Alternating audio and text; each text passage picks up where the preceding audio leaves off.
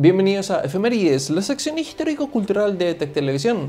El día de hoy presentamos el 20 de julio, pero no de hoy sino del año 1944 en Prusia Oriental en contexto de la Segunda Guerra Mundial, ya que es en un día como hoy cuando el coronel alemán von Stauffenberg lleva a cabo un atentado contra la vida de Adolf Hitler, del cual él mismo saldrá ileso.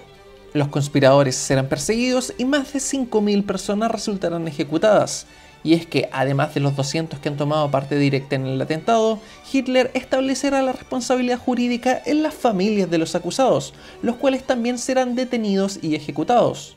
Si les interesa ahondar en esta historia, les recomiendo ver la película Operación Valkyria protagonizada por Tom Cruise y basada en estos hechos. Avanzamos desde entonces hasta el año 1969, ya que es también en un día como hoy, tras cuatro días a bordo del Apolo 11, es que finalmente el módulo lunar se posa sobre dicha superficie, convirtiéndose Neil Armstrong en el primer ser humano en pisar la superficie de la Luna.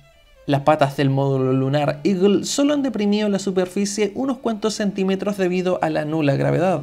Al respecto, Armstrong señalaría, la superficie parece ser de un grano muy fino cuando se ve de cerca, es casi un polvo fino, muy fino. Ahora salgo de la plataforma, y a continuación de esto señalaría su histórica frase, este es un pequeño paso para el hombre y un gran salto para la humanidad.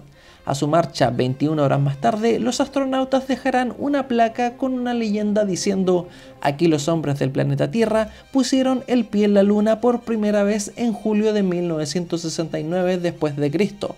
Vinimos en son de paz en nombre de toda la humanidad. El regreso exitoso de la tripulación a la Tierra tras 8 días de misión marcará el triunfo definitivo de Estados Unidos por sobre la URSS en la carrera espacial. Avanzamos desde entonces hasta el año 2015, ya que es también en un día como hoy cuando los dirigentes de Estados Unidos y Cuba, es decir, Barack Obama y Raúl Castro respectivamente, restablecen las relaciones diplomáticas de ambos países.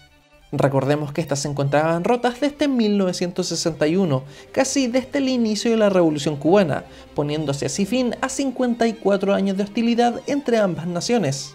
Y es que si bien Cuba sigue siendo un país socialista hasta el día de hoy, su rol en la economía mundial es tan ínfimo y al mismo tiempo el hecho de que la Guerra Fría haya terminado ya hace décadas hace insostenible este eterno conflicto entre ambas naciones americanas. Y hasta aquí las efemérides del día de hoy. Como siempre recordándoles que nos reencontramos mañana en este mismo horario por las pantallas de Tech Televisión.